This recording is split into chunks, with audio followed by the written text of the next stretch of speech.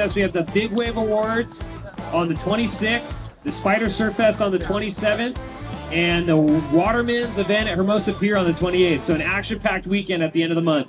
Thank you guys for coming down, and we'll see you in like two weeks.